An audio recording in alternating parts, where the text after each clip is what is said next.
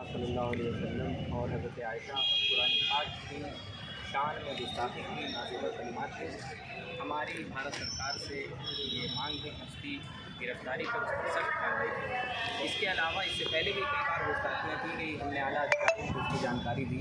लेकिन अफसोस की बात है कि इस पर कोई शिकंजा नहीं कसा गया, कोई कार्रवाई नहीं की जिसकी वजह से ये नफरत फैलाने वाले तक मज़ीद बढ़ते जा रहे हैं, इनको बढ़ावा मिल रहा है।